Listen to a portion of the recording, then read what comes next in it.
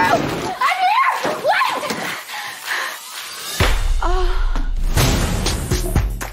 Pebblebrook is threatening to sue for mishandling his case. What? Your son is on line one. Sit down. Hey, how's your first day going? I'm coming home. Honey, Steiners are not quitters, we're fighters.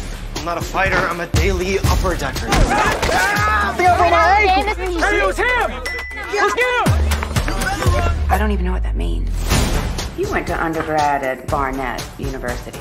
You were president of your sorority and popular with all the guys, right? I mean, yeah, a little look at you. My son is a really good kid, but he's a recluse. I would like to hire you to go back, take him under your wing. You want to pay me to go back to Barnett? Yeah. Holly! I'm getting paid to go back to college, and you're gonna come with me. You know, I'm really sorry.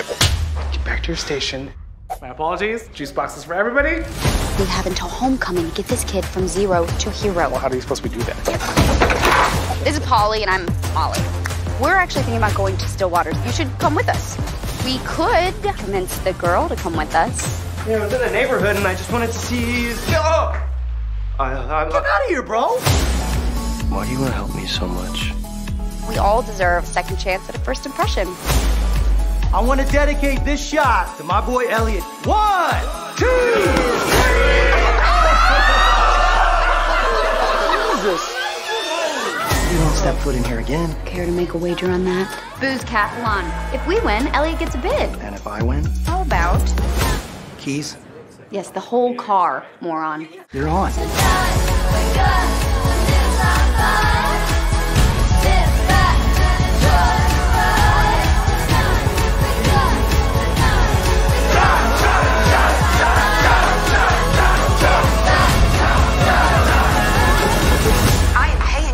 Son get adjusted to college, not ruin his life. Just think of me as your little Jiminy Cricket.